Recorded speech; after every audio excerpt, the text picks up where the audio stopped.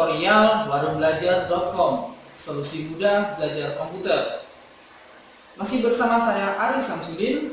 Jika dalam video sebelumnya kita telah belajar mengenai apa itu CMS dan beberapa kelebihan yang dimiliki oleh CMS WordPress daripada CMS yang lain.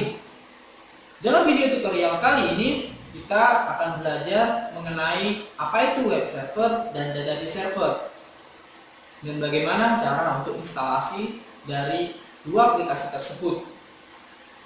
Tetapi sebelumnya saya akan menjelaskan terlebih dahulu bagaimana sebuah website bisa Anda akses melalui internet sehingga Anda akan mengetahui mengenai fungsi dari web server dan database server. Website identik dengan dunia online, di mana Anda harus terkoneksi dengan internet ketika Anda ingin mengakses sebuah website. Website yang sudah online di internet pasti membutuhkan domain dan hosting. Hosting digunakan sebagai tempat penyimpanan dari file website dan domain digunakan sebagai alamat untuk mengakses file di dalam hosting dan ditampilkan pada bagian pengunjung. Di sini terlihat ketika pengunjung mengakses warungbelajar.com, domain tersebut akan mengarah ke dalam hosting tempat penyimpanan dari file website warungbelajar.com. Lalu hosting akan memberikan file-file yang dibutuhkan untuk menampilkan dari website warung belajar agar dapat dilihat oleh pengunjung. Sehingga dapat kita simpulkan bahwa hosting dan domain adalah hal yang sangat penting untuk website yang telah online agar dapat diakses oleh orang di seluruh dunia. Kurang lebih seperti itu untuk proses di mana ketika pengunjung mengakses sebuah website melalui internet dan fungsi hosting sendiri adalah cukup kompleks di mana dalam hosting terdapat web server yang digunakan untuk menyimpan file-file yang digunakan untuk membangun sebuah website dan database server digunakan untuk menyimpan apa saja isi di dalam website tersebut. Baik itu seperti konten, galeri foto, dan lain sebagainya. Nah dalam uh, video tutorial ini kita akan menggunakan teknik di mana pembuatan websitenya dilakukan secara offline di mana Anda tidak memerlukan yang namanya koneksi internet sehingga anda yang tidak memiliki koneksi internet bisa mengikuti tutorial dari kami. Karena kita menggunakan mode offline untuk pembuatannya dan ketika nanti kelas selesai baru kita upload ke hosting, kita harus membutuhkan uh, sebuah aplikasi yang digunakan untuk menggantikan fungsi dari hosting ketika kita mengaksesnya melalui internet sehingga nantinya hosting tersebut akan berada dalam komputer Anda sendiri. Karena itu kita harus menginstal aplikasi yang digunakan untuk menggantikan fungsi hosting tersebut. Aplikasi tersebut bisa Anda temui pada aplikasi yang bernama ExamPP. Selanjutnya saya akan menjelaskan apa itu ExamPP dan bagaimana proses untuk menginstalnya dalam komputer Anda. XMPP adalah software yang digunakan untuk server lokal atau biasanya kita sebut sebagai localhost. Aplikasi ini digunakan untuk menggantikan fungsi dari hosting agar kita dapat membuat website dalam keadaan offline.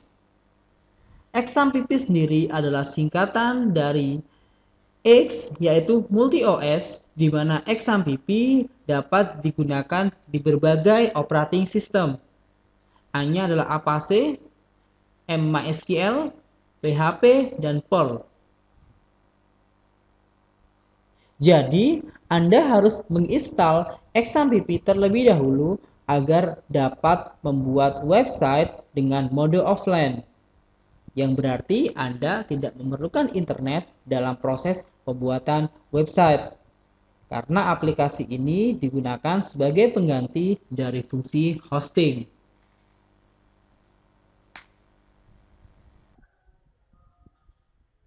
Di dalam langkah awal ini, Anda harus mendownload terlebih dahulu installer dari XAMPP. Anda tuliskan di browser Anda google.com lalu tuliskan XAMPP.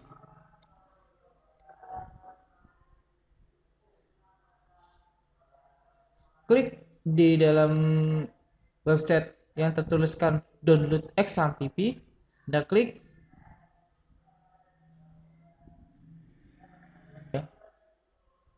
Di sini terdapat untuk aplikasi XAMPP untuk di bagian Windows terdapat dua versi yang bisa Anda gunakan. Anda gunakan yang bagian versi ini. Anda klik di bagian download 32 bit, klik. Tunggu beberapa saat ya, ini sudah terlihat linknya. Anda simpan berkas. Tunggu hingga proses dari download selesai. Terlihat untuk proses dari download XAMPP telah selesai. Oke, kita klik di bagian buka folder.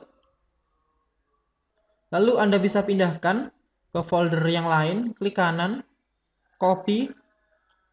Lalu saya pindahkan di dalam folder ini, klik kanan, paste. Dan langkah selanjutnya adalah proses instalisasi dari XAMPP. Anda klik dua kali pada installer XAMPP. Lalu pilih yes. Oke. Anda klik next. Klik next lagi. Lalu pilihlah folder di mana nantinya digunakan sebagai direktori penyimpanan dari file-file website. Secara default, dipilihlah dalam drive C dan folder XAMPP. Anda bisa merubah tempat penyimpanan selain pada direktori ini dengan cara klik di bagian ini. Saya biarkan default, lalu saya klik next. Dan klik next lagi, otomatis browser Anda akan membuka dari website Bitnami. Kembali ke installer, Anda klik next dan tunggu hingga proses instalasi selesai. Hal ini akan menghabiskan beberapa menit untuk proses instalasi. Terlihat dari proses instalasi dari XAMPP telah selesai. Anda pastikan di control panel dalam keadaan tercentang dan Anda klik finish.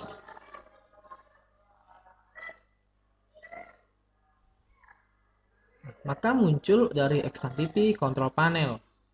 Di sini terdapat beberapa service yang akan tersedia ketika Anda telah berhasil menginstal XAMPP.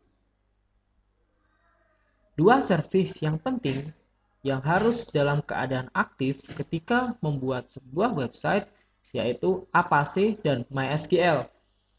Apache digunakan sebagai web server dan MySQL digunakan sebagai database server.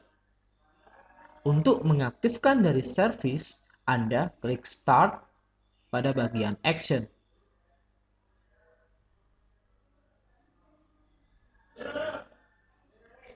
Dan MySQL juga. Terlihat keduanya dalam keadaan aktif.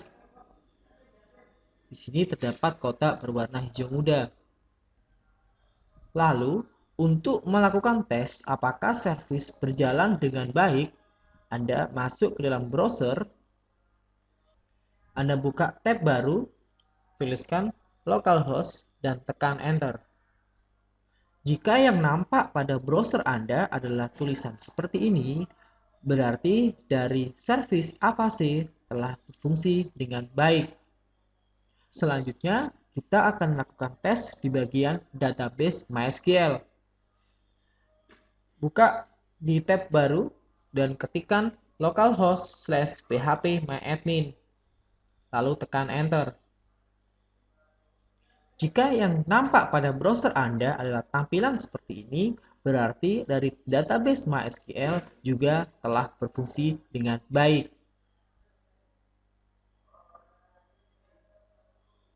Cara ini digunakan hanya untuk settingan sementara, yang artinya ketika nanti komputer Anda dalam keadaan hidup kembali atau dalam keadaan restart, yang berarti sistemnya baru keadaan hidup, maka dari service ini akan otomatis dalam keadaan stop.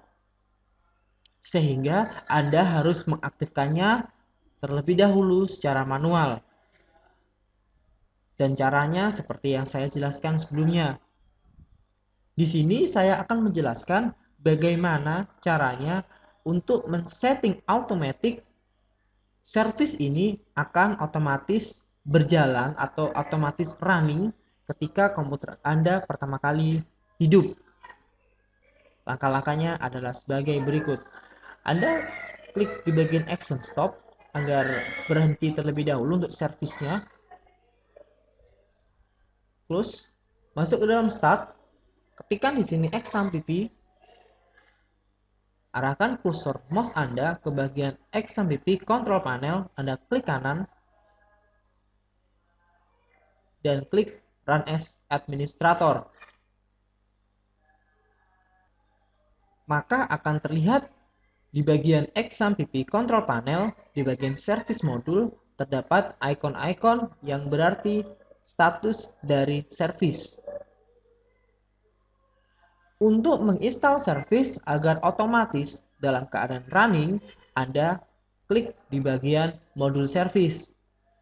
Yang akan kita aktifkan adalah di bagian service Apache dan MySQL. Anda klik di bagian Apache, klik, lalu klik Yes. Akan otomatis simbolnya berganti seperti ini. Lalu untuk MySQL juga, klik dan Yes. Lalu Anda klik Start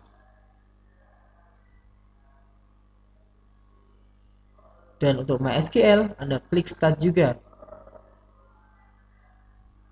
Coba kita lihat apakah berfungsi dengan baik. Kita klik Reload.